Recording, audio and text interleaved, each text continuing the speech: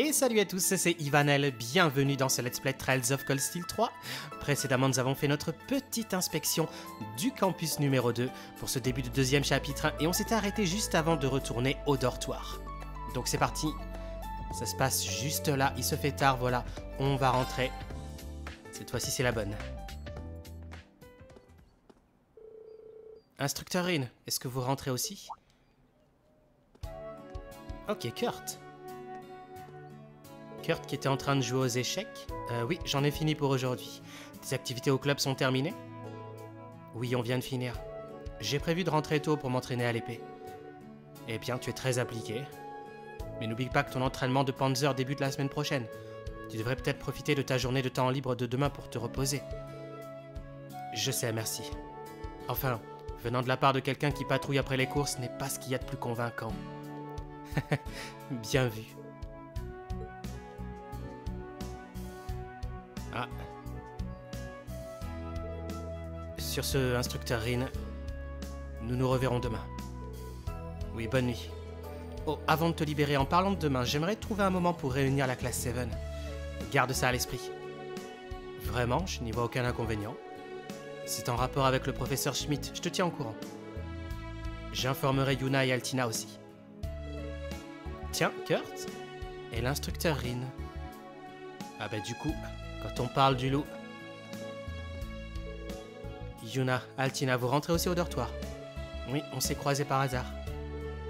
C'est rare de vous voir ensemble. Tiens, vous parlez de quoi comme ça entre hommes? Eh bien, de choses et d'autres. Rien de très important, j'avais juste un message pour lui. Et pour elle aussi, justement.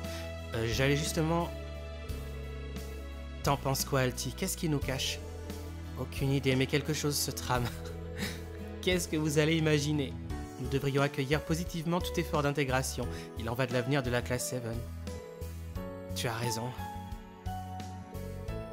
Je viens de me rappeler qu'on avait des achats à faire toutes les deux. Allons-y, Alti. Alors non seulement elles se font des films, mais en plus de ça, il a pas pu les prévenir. Elles nous ont regardé bizarrement. J'ai l'impression qu'elles s'entendent de mieux en mieux. Oui, c'est aussi mon impression. Altina est un peu spéciale, mais je trouve qu'elle commence à changer. Je compte sur toi pour veiller sur elle. Comptez sur moi, on prendra soin l'un de l'autre. Bien, je dois vous laisser, j'ai moi aussi quelques achats à faire. Je leur transmettrai l'information de tout à l'heure un peu plus tard. Merci pour ton aide.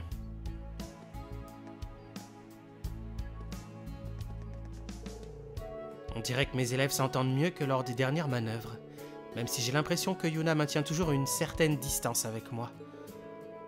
Enfin, les choses devraient s'arranger avec le temps. C'est ça, compte là-dessus.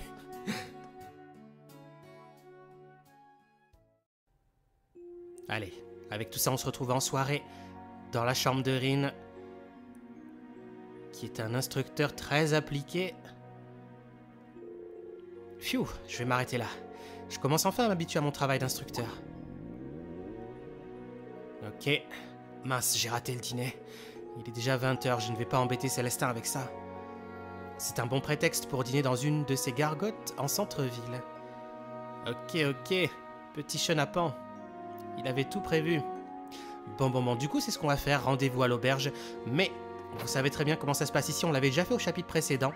On va en profiter pour aller dire bonjour à ceux qui sont présents. Tout du moins, si on peut entrer dans leur chambre. On pouvait pas au chapitre précédent, mais là, on devrait pouvoir. Monsieur Rain, vous n'avez toujours pas mangé. Célestin se soucie de tout le monde, je le reconnais bien là. Ne vous inquiétez pas, je pensais sortir pour souffler un peu et en profiter pour manger à l'extérieur. C'est une bonne idée, monsieur. Demain, c'est quartier libre, faites en sorte de ne pas rentrer trop tard tout de même. Oui, bien sûr. Ok, ok, toujours aussi attentionné. Ensuite, nous avons la chambre de la directrice, apparemment la grande chambre là. Elle, on pouvait déjà rentrer au chapitre précédent. En ce moment, à cet étage, il n'y a que toi, moi et le major d'hommes des IAMS. On dirait bien, oui. J'ai l'impression que Towa et l'instructeur Randolph ne sont pas dans leur quartier. Le major Michael non plus n'est pas à Leaves. Quant à ce... Euh, quand ce maniaque n'est pas là, je sens une grande différence. Et quand il est dans ces quartiers, il est occupé par des communications ou je ne sais quoi. Oui, c'est parce qu'il doit être occupé sur plusieurs fronts. Oui, il a de nombreuses obligations. La surveillance du tigre que je suis ne doit pas être de tout repos. Ça, c'est vrai qu'on l'avait compris au chapitre précédent. Apparemment, le fait qu'Aurélia soit là, c'était une façon de mettre un tigre dans une cage. C'était Lecter qui avait dit ça. Ils veulent essayer d'une manière ou d'une autre, le gouvernement d'Erebony veut essayer de, de, de la contenir en fait. De faire en sorte qu'elle fasse pas n'importe quoi parce qu'elle est capable de faire pas mal de choses. Voilà, elle en est au moins consciente, c'est déjà ça. Regardez tout ce qu'elle a fait avec ce campus numéro 2, avec son propre argent et tout. Sur ce point, désormais je garderai un œil seulement sur le territoire de nos oisillons. Je ne dis pas que je vais me mettre au vert, mais je dois au moins jouir pleinement de la vie. Ça, c'est vrai. Toutefois, je pense que vous aurez beaucoup à faire. Je n'arrive pas à savoir ce qu'elle pense vraiment. Mais ce qu'elle pense, c'est qu'elle est très consciente de sa situation personnelle, le fait que l'Empire cherche à la... L'Empire cherche à la contrôler d'une manière ou d'une autre, et visiblement ça ne l'embête pas trop, pour le moment du moins. Mais l'Empire la considère comme un individu potentiellement dangereux, on peut peut-être le voir comme ça, qui sait ce qu'elle est capable de faire? Ok, Stark. Au premier abord, on croit que ce n'est pas efficace, mais ça l'est dans le cas d'une guerre éclair, non? J'ai encore beaucoup à apprendre en logistique. J'ai l'impression qu'il révise son cours de logistique, mais le contenu du cours est... Instructeur Rin, c'est vous? Excuse-moi, je te dérange pendant que tu étudies, mais je vois que tu es très motivé. En plus, tu es en train de lire un cours plutôt avancé. Oui, en tant que fils de marchand, ça m'apporte beaucoup. Enfin, je dis ça, mais je n'ai pas encore décidé si je reprenais ou non l'affaire familiale. Être dans une académie militaire te fait réfléchir à tes différentes options. D'ailleurs, pourquoi as-tu choisi le campus 2 et, pas l'académie de Torse, et pas, ouais, l'académie principale? Que voulez-vous dire par là? Eh bien, on va dire que les résultats de l'académie de Torse ont marqué notre histoire. C'est un fait qu'elle apporte de nombreux avantages au niveau des cours comme au niveau de l'orientation. Et puis avec tes notes, tu aurais pu être admis, non? Vous êtes perspicace, instructeur. Mais je préfère qu'on ait cette discussion une autre fois. Très bien. Dans ce cas, on en parlera plus tard. Ok, ok, donc des choses un petit peu louches avec Stark. À l'intention de reprendre la suite du magasin familial, où il avait dit qu'il savait pas trop, s'est inscrit au campus pour une raison particulière. Mais pour l'instant, on ne sait pas ce que c'est. Donc soyons patients, espérons qu'on le découvre par la suite. Ok, cette fois-ci la chambre d'Ash et Gustave. Euh, ça permet de voir euh, un petit peu les quartiers d'Ash. On peut en apprendre plus sur le personnage, c'est-à-dire on voit des jeux de fléchettes, des magazines, euh, vous m'avez compris. Son arme, ok, un jeu de... un plateau de, de Blade. Apparemment, quelques produits, ouais, des bouquins parce qu'il aime lire. Et un poster. Non, franchement, il fait vraiment penser à Crow. C'était assez similaire, les jeux, les femmes et tout. C'était un peu pareil. Et Gustave, du coup, qui est plutôt habitué à tout ce qui est... Ah, il a des casques et tout, pour travailler dans les, les usines ou les choses comme ça. Et là, visiblement, il est en train de travailler sa batterie. Je vois, il s'entraîne aux baguettes même une fois rentré. Ça prouve qu'il prend ça à cœur. Pardon de t'avoir interrompu. J'ai l'impression que tu es impatient de reprendre les répétitions. Je... oui, je l'avoue. Et puis je suis le seul à être complètement novice. Je pensais m'entraîner un peu avant le début des répétitions. Ok, je vois l'important, c'est la motivation. T'inquiète pas, fais attention au son et tout ira bien. Ouais, Rin euh, a de l'expérience, souvenez-vous dans les opus précédents. La classe 7 avait également fait euh, un petit concert. Et Rin faisait la guitare. Euh, ici nous avons la chambre donc de Kairi et Pablo. Donc Pablo avec tout ce qui est tout ce qui est mécanique, sa basse parce qu'il est dans le club de musique également, des enceintes, des magazines sur les trains parce qu'on sait qu'il adore ça. Et du côté de Kairi, de la musculation parce qu'il essaye d'être plus, plus viril, hein, selon lui, c'est ça être un homme. Donc il essaie de faire de son mieux. Apparemment, il manie un bâton hors balle. Il doit aimer l'art parce qu'on voit un petit tableau. Et puis. Et puis je me disais c'est bizarre parce qu'on voit des poissons, on voit des ingrédients et on voit un trident. C'est Freddy. Autrement dit, on a la chambre de, Freddy également. Ils sont trois ici, j'avais pas trop... J'avais pas trop fait attention. Du rock, c'est trop cool. T'as vu? Eh ouais. Mais si tu changeais de club Non, ça n'est pas possible. Premièrement parce que je n'ai pas encore, je n'ai encore obtenu aucun résultat au club de thé. Des résultats? La cérémonie du thé est une pratique culturelle répandue chez les pratiquants d'arts martiaux en Orient. Je me dis qu'il doit y avoir un secret permettant aux hommes de se perfectionner. Alors je dois bien étudier la question. Si tu le dis. Au fait, c'est bientôt l'heure de mon émission de radio. Laquelle? C'est une émission sympa qui passe sur Radio Trista. Tu restes écouter avec moi, je suis sûr que tu vas adorer. Ok, il doit parler d'Abentime. Et voilà, je vois qu'Abentime a déjà des fans de chez nous. Forcément. Misty est très douée. On aura beau dire le cœur de ce programme, c'est la voix de sa présentatrice. Je suis sûr qu'elle pourrait apaiser Kairi. Espérons-le. C'est à se demander si elle n'utilise pas ses pouvoirs magiques. Pour charmer un petit peu les gens, parce que c'est quand même très curieux, mais bon.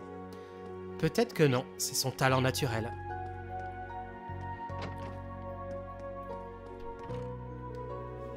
Trois ans déjà que tu fais du tennis. Tu dois être très populaire à Rémi Feria. Oui, je participe à beaucoup de compétitions là-bas.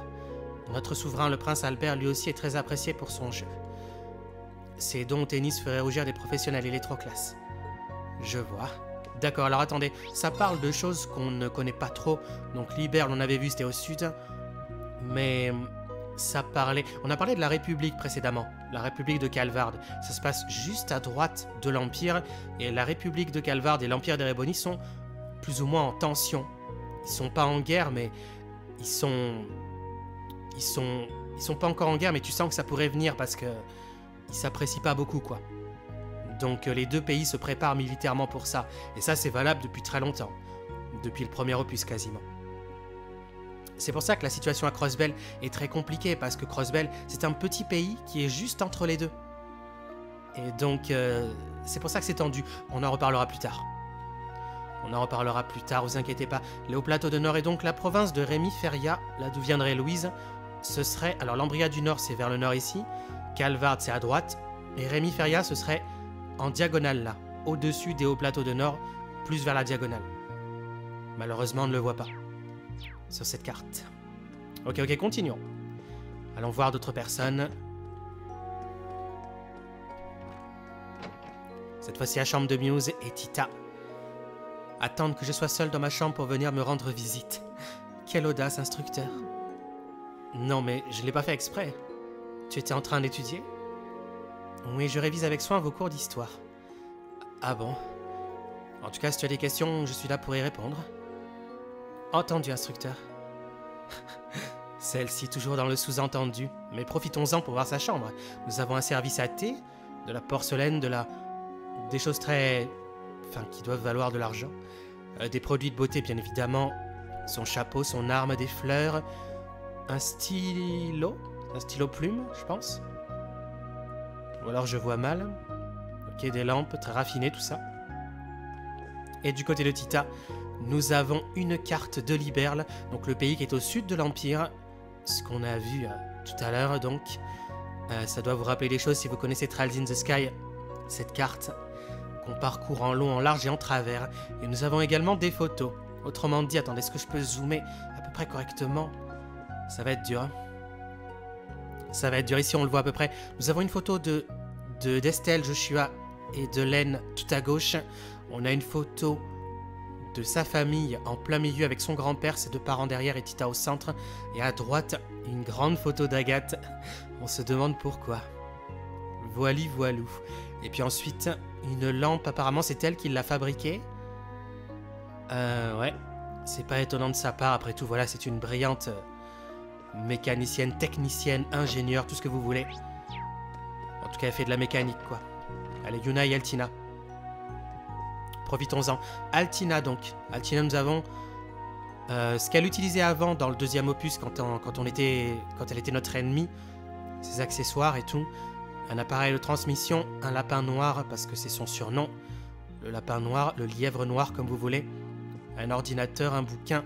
Et du côté d'Yuna, nous avons... Alors ça, franchement, franchement, c'est le clin d'œil. Hein. Nous avons des chaussures, des chaussures, des raquettes et tout. Ça fait vraiment penser à Estelle. Franchement, il manquerait plus que de voir des cannes à pêche, et ça ferait vraiment penser à Estelle. Bon, mis à part ça, ici rien de spécial, si ce n'est que nous avons une peluche de Michi, qui est donc la mascotte de Crossbell, ça on le sait, par rapport à Trails of Zero. Et ici nous avons une photo de famille, j'arrive pas à zoomer. C'est très difficile, mais on voit une photo de famille où apparemment, apparemment elle est avec sa famille, avec une grande peluche de Michi. Donc je suppose qu'elle était euh, au parc d'attractions de, de Mishram. Un endroit que qu'on aura peut-être l'occasion de voir par la suite. Donc autant rester discret à ce sujet. Et ici elle a une carte qui est centrée sur la, région de, de. Donc c'est ce qui nous intéressera pour ce chapitre. Je crois que Léo donne une leçon privée à... Ouais, elle a donné une leçon à Altina en ce qui concerne la natation. Apparemment, je me suis inquiété pour rien. Tant mieux. Ça m'a épuisé aujourd'hui. Je sens que j'aurai des courbatures partout demain. Ah, faut pas oublier les étirements. Hein. C'est important. Ok, ok. Donc on a tout fait à cet étage. Du coup, allons un peu plus bas. On va aller prendre une petite douche après. Mais pour l'heure... Euh... Pour l'heure, voyons voir ce qui se passe avec Kurt et son entraînement. Il a l'air absorbé. Il a l'air concentré. Je vais le laisser tranquille. Ok.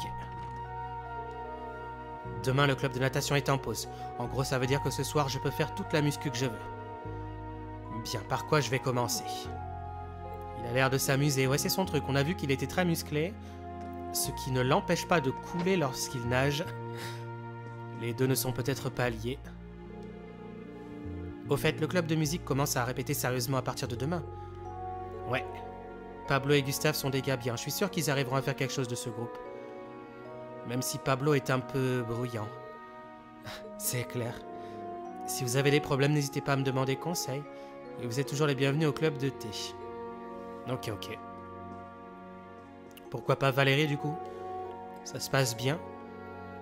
Il a l'air assez agité, mais pourquoi pas? Ça ne fera pas de mal. Ok, ok.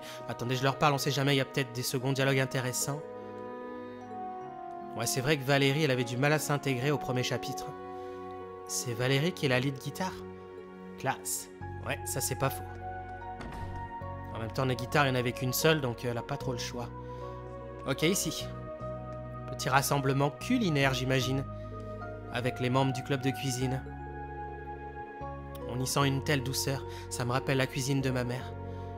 Oui, c'est vraiment délicieux. J'y pensais justement en cours de cuisine. La cuisine de Tita réchauffe le cœur d'une façon indescriptible. C'est parce qu'elle y met toute son affection. Son amour plutôt, non? Intéressant tout ça. Sandy, arrête. On dirait qu'ils ont invité Towa pour une séance de dégustation au club de cuisine. Ça me donne faim. Instructeur, si ça vous dit, on pourrait... Ah, je viens tout juste d'utiliser tous les ingrédients. La prochaine fois alors. Ouais, du coup, Rin ne peut pas dîner avec eux. Il n'y a déjà plus rien. Ouais, c'est ce qu'il a dit, voilà cuisine maternelle. Et toi, Sandy, qu'est-ce que tu racontes? Tita met tout son amour dans sa cuisine, ou plutôt toute sa passion. Ça me fait penser à plein de choses. Ouais, elle s'entraîne pour, euh, pour Agathe. Les élèves m'ont invité à participer à une réunion de dégustation club de cuisine aujourd'hui. En tant qu'instructrice chargée des cours de cuisine, je voulais leur donner quelques conseils, mais là, je pense que je n'ai rien à dire. Effectivement, Tita, je pense qu'elle est suffisamment rodée. Ok, ok. Allez, je pense qu'on va en profiter donc pour faire ce petit passage au bain. Ça nous fera du bien. Parce qu'à chaque fois que Rin est dans le bain, souvenez-vous qu'on a un invité surprise. C'est l'occasion d'un petit dialogue. Et donc cette fois-ci, qui est l'heureux élu? Pfiou Comme ça fait du bien de prendre un bon bain chaud. Mais je croise que rarement des élèves dans le bassin. J'aurais pourtant bien aimé papoter avec eux dans une ambiance détendue.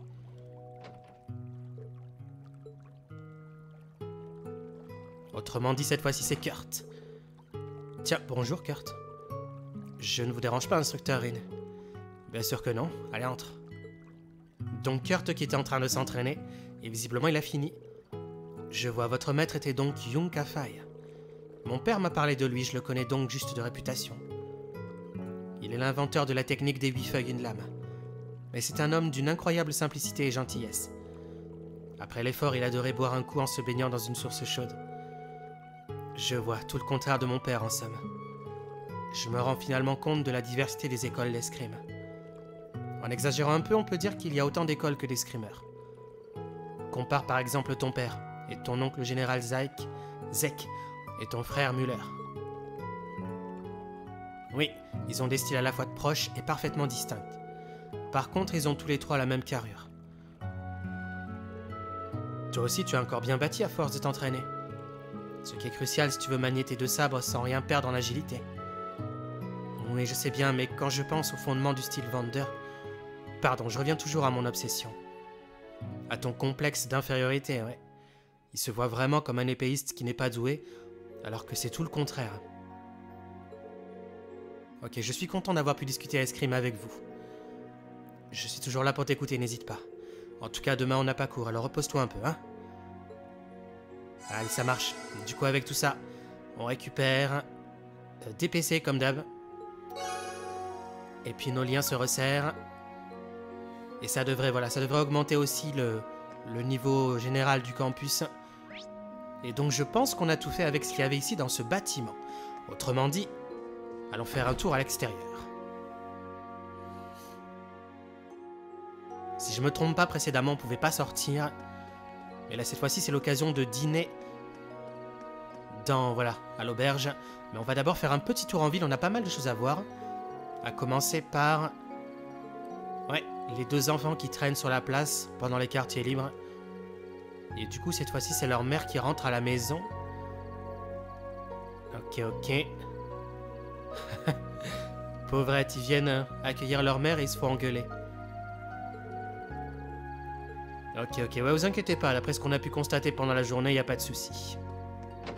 Du coup, profitons-en pour voir ce qui se passe ici, parce que je crois qu'on a un truc à acheter en fait. Après, j'étais peut-être pas obligé de le faire maintenant.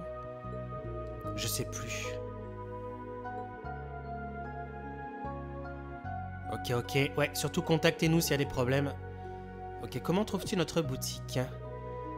On y trouve beaucoup de livres, c'est très, intéressant. On peut commander aussi sans souci, c'est très pratique.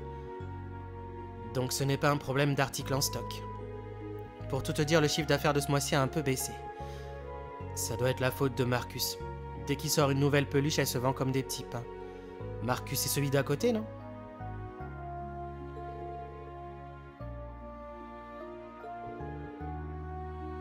Je vois, vous êtes rivaux, c'est ça? Il me rappelle un peu Hugo et Becky. Je me demande d'ailleurs comment ils vont ces deux-là.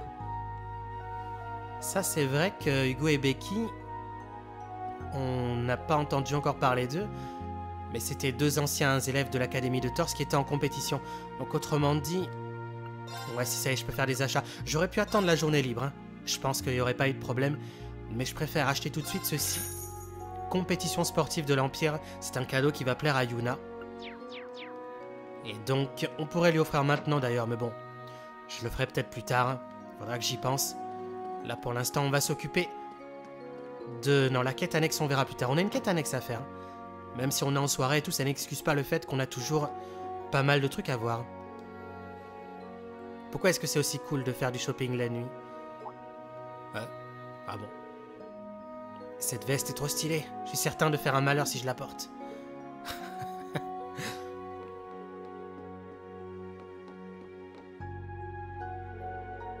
Encore en train de fabriquer ces peluches. Oui, je les adore, mais il serait peut-être temps que tu fasses autre chose de ta vie.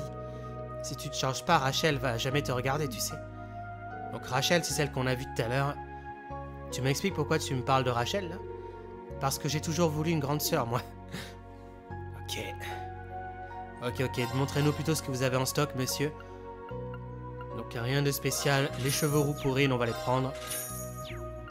Blond pour Altina aussi, pourquoi pas. Mais c'est à peu près tout ce qui pourrait nous intéresser. Il y a de bonnes protections. Mais je pense qu'on va s'en passer. On fera les courses quand on sera dans une nouvelle ville en entraînement spécial. Là pour le moment, on va juste regarder les cheveux roux pour Rin, que j'aime pas du tout.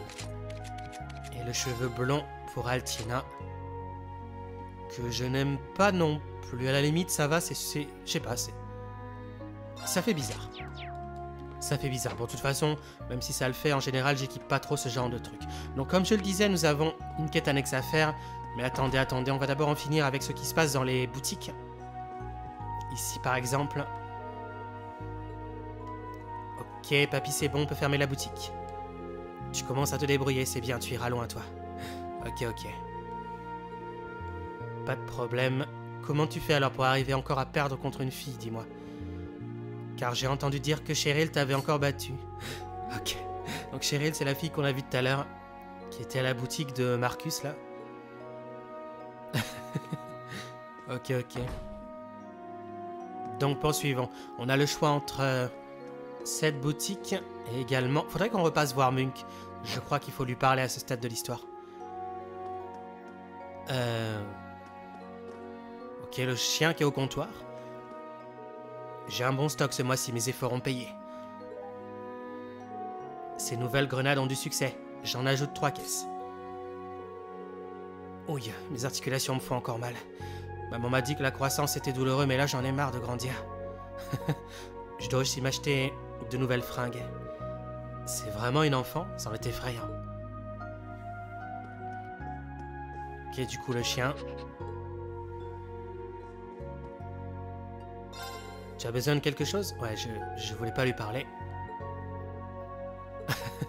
le marché noir, voilà, je voulais pas lui parler. Ah oui, c'est vrai que j'ai pas encore utilisé ça. Faudrait que j'utilise, c'est toujours dans mon inventaire. Mais là pour l'instant, alors voilà, on va regarder les trouvailles.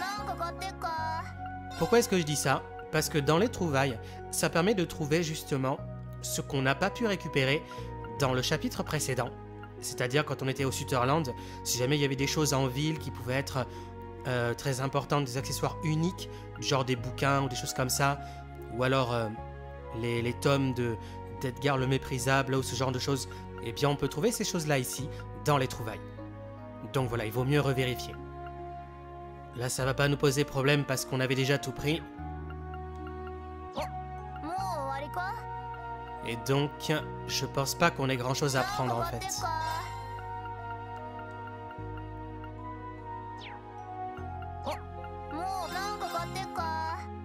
Ah si, le chouchou élégant. Chouchou élégant, c'est un cadeau qu'on pourrait faire à Claire en échange d'une chaîne sacrée. Alors comment je fais pour l'avoir la chaîne sacrée? Je peux peut-être l'échanger.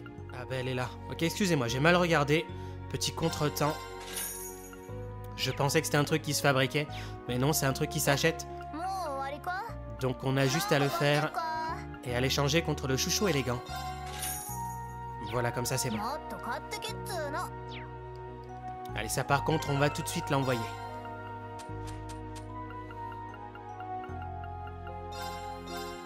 Ok, je l'envoie donc à Claire. Et de cette façon, on est presque en affinité maximale avec elle. Ça, c'est pas plus mal. Ok, ok. Allez, très bien. Du coup, on en profite pour voir H. Je vois. Ça, c'est une boutique qui fait du... qui fait du bien.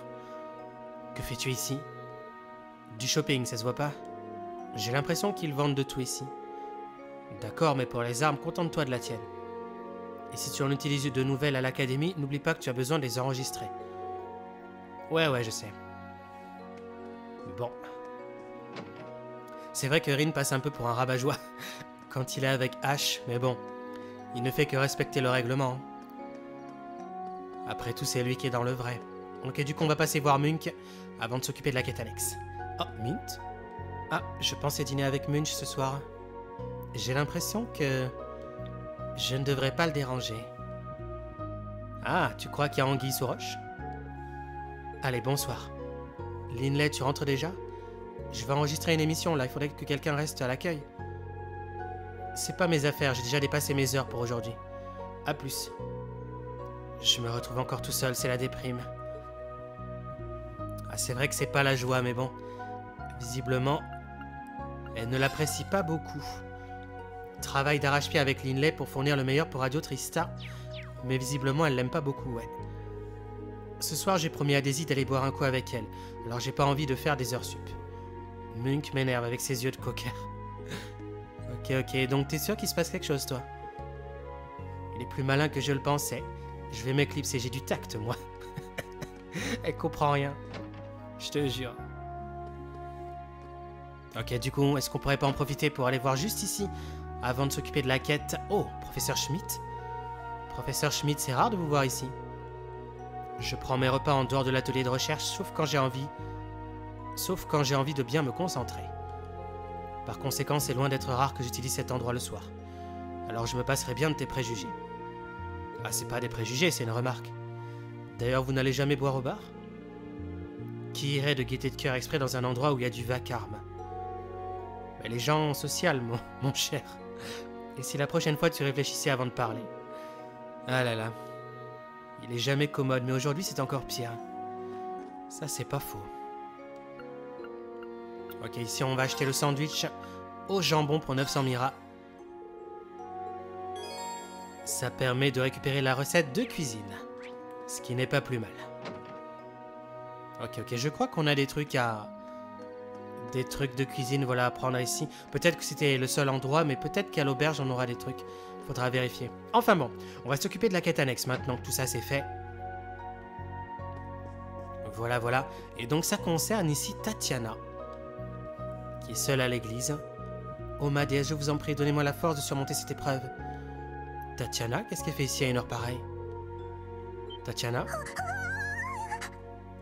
Ok, c'est quoi ça? Excuse-moi, je voulais pas te faire peur. Non, pardonnez-moi d'avoir réagi ainsi. Qu'est-ce que tu fais à une heure aussi tardive en train de prier ici? Il t'est arrivé quelque chose? Oui, pour tout vous dire, j'ai perdu un livre très précieux que je venais tout juste de me procurer. Tu ne sais pas où tu l'as fait tomber? Je pense que c'est plutôt quelqu'un qui a dû l'emporter par erreur. Je me suis retrouvé avec un livre qui ne m'appartient pas à la place. Je comprends mieux. Du coup, on choisit de l'aider, bien entendu. Je vois, si tu veux, je peux t'aider à retrouver ton livre. Vous êtes sûr? Merci beaucoup. Je vais pas laisser une élève dans l'embarras. Mais tout de même, se tromper comme ça de livre, c'est bizarre, non? Qu'est-ce qui s'est passé exactement? Regardez ce livre de plus près, vous allez tout de suite comprendre. Ok, le livre est couvert d'une couverture en papier avec écrit dessus Librairie Carnegie. Je vois la librairie avait, la librairie avait rajouté une couverture personnalisée. Ça veut dire que ton livre a lui aussi la même couverture, c'est bien ça? Exactement. Je pense que je l'ai égaré en soirée à la boulangerie recette. Quelqu'un a dû repartir avec pendant que je nettoyais ma table. Si seulement j'avais fait un peu plus attention. Je suis vraiment impardonnable, mais je m'en suis rendu compte qu'une fois rentré au dortoir. Ok, tu es retourné à recette pour y vérifier si ton livre y était? Oui. J'ai demandé à la patronne, mais personne n'est venu leur remettre le moindre livre. La personne qui est repartie avec ne s'est sûrement pas encore rendu. Ouais, elle s'est pas rendu compte euh, qu'elle avait pris le mauvais elle aussi. Oui, parler avec des gens que je ne connais pas, ce n'est pas trop mon fort. La patronne était une femme, j'ai donc réussi à lui poser une question pour mon livre. Mais parler avec des gens que je connais pas, ouais, ça on a compris. Je comprends un peu mieux ce qui s'est passé. Tatiana, est-ce que je peux t'emprunter ton livre? Du coup, on récupère un livre au propriétaire inconnu, et il va falloir retrouver le propriétaire en espérant qu'il n'ait pas foutu le camp. L'amour est... L'amour est dans le blé. Vous avez osé faire ça. Je vais commencer par retourner à la boulangerie avec ce livre et interroger la patronne. Ok, du coup, on est parti. On va faire ça en quatrième vitesse. C'est-à-dire... La boulangerie recette. On va parler à la patronne. Bonjour, ce sera pour manger sur place. Excusez-moi, en fait, j'aimerais juste vous poser une question. Auriez-vous une idée de l'identité du propriétaire de ce livre? Je vois, je pense qu'il pourra appartenir à Kine, un jeune fermier avec qui je travaille régulièrement. Il s'est reposé ici après avoir apporté des légumes pour aujourd'hui. Il m'a d'ailleurs raconté qu'il avait acheté un livre passionnant. Apparemment, c'est un roman d'amour, parfait pour lui d'après ses dires. Ouais, l'amour est dans le blé. N'importe quoi. Voilà qui semble coller au personnage. Je pense qu'il doit être en train de boire à l'auberge à l'heure qu'il est. Désolé de vous embêter, mais vous me rendriez service en le lui ramenant. C'est d'accord. Tout de même, au sujet de Tatiana, je fais en sorte de bien m'entendre avec les étudiants du campus de Torse. Je suis désolé de lui avoir causé du souci. Non, à ce sujet, elle a sa part de responsabilité. Et je lui transmettrai vos sentiments. Dirigeons-nous vers l'auberge pour chercher Kine. Tel que c'est parti, je sens que mon dîner n'est pas pour tout de suite. Ça, c'est clair. Autrement dit, l'auberge qui est juste là. Donc attention à ne pas déclencher la suite de l'histoire, hein, on est bien d'accord Puisque pour déclencher la suite de l'histoire, il faut dîner ici. Et ce n'est pas ce que nous allons faire. C'est moi, désolé, ces préparatifs ont pris plus de temps que prévu.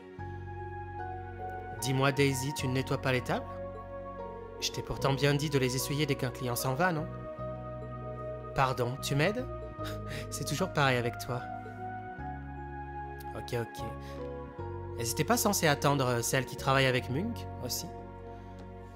Bon, c'est pas le sujet. Ouais, je peux quelque chose pour toi? Oui, je voulais savoir si vous connaissiez ce livre.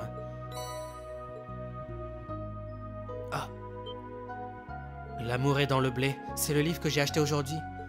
Ce qui veut dire que... Il vérifie le livre à côté de lui. Comment s'appelle ce livre? Mélodie d'amour de printemps. Qu'est-ce que c'est que ce truc? On dirait un roman à l'eau de rose, mais sans aucune femme dans l'histoire. D'ailleurs, je n'ai pas demandé à Tatiana quel genre de livre c'était. J'espère que c'est le bon. Ouais, je pense que c'est le bon. T'inquiète pas. Je vais tout vous expliquer en détail. C'est un peu compliqué, c'est des histoires de filles. Celui-ci s'en veut d'être parti avec le livre de Tatiana sans s'en être aperçu. Il va donc retrouver Tatiana pour lui rendre son livre et s'excuser directement auprès d'elle. Vraiment désolé, ma jolie. C'est ma faute. Tiens, pour la peine, je te donne de bons légumes que j'ai cultivés moi-même. Et à vous aussi pour votre aide. Ok, sympa. Merci beaucoup. Il était vraiment très gentil. Mon père m'a toujours dit de ne jamais faire confiance à personne. Il ne cessait de répéter que les hommes n'étaient que des bêtes sauvages qu'il ne fallait pas approcher. Euh, je sais pas si cette façon de t'éduquer t'a été très profitable, ça c'est clair, vu qu'elle évite tout le monde. Tu n'as peut-être plus besoin de prendre tout ce qu'il t'a... Tu n'as peut-être plus besoin de prendre tout ce qu'il t'a dit au pied de la lettre aujourd'hui, tu sais. Je pense être capable de faire la part des choses. Mais j'ai quasiment jamais eu l'occasion de sortir de chez moi avant mon arrivée à l'académie. Ton père est vicomte, si je ne me trompe pas. Oui, même si ce n'était que d'un petit village perdu du côté de Creuzen. Tu sais que je viens de la famille d'un baron d'une maison près de la frontière Mais je suis étonné de voir que ton père a accepté de te laisser partir seul ici. Oui, cela n'a pas été simple de le convaincre. Mais je tenais absolument à découvrir le monde qui m'entoure par moi-même. Je vois. Ton père est quelqu'un de compréhensif, donc. Oui, et je lui en suis reconnaissante du fond du cœur. C'est pour cela que je veux tout faire pour... que je veux faire tout ce que je peux pour changer. Mais je suis rassuré, tu as beaucoup plus la tête sur les épaules que je ne le pensais. Et ne t'inquiète pas, tu as encore toute la vie devant toi pour changer.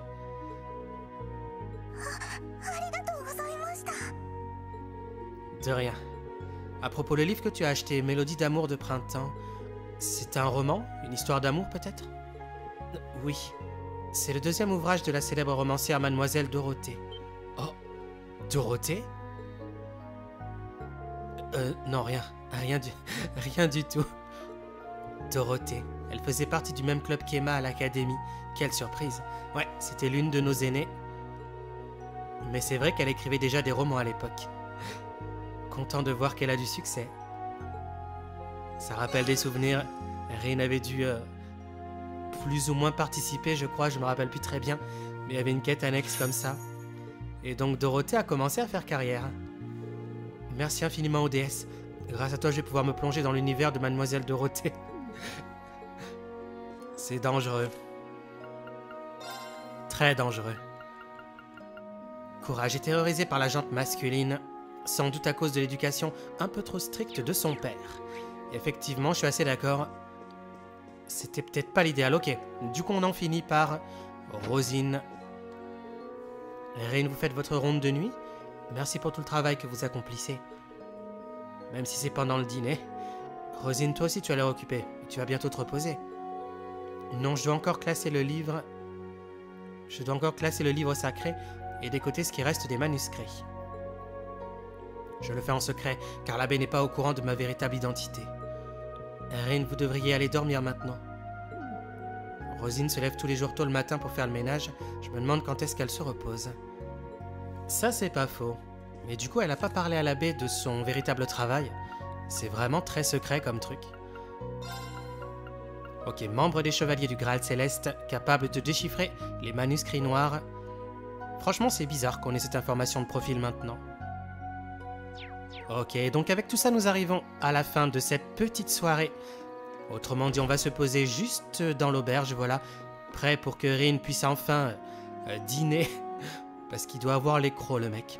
Et donc voilà, la prochaine fois, je pense qu'on pourra enchaîner sur la journée libre, on va avoir pas mal de choses à faire, donc il va falloir être sur le coup. Allez, moi en attendant, je vous dis bye, et salut à tous.